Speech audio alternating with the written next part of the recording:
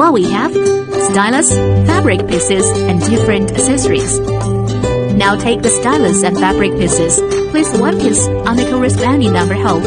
Align the hole and use the stylus to punch the fabric into pillow. Now we can see one flower. Keep punching different pieces into the corresponding number holes one by one.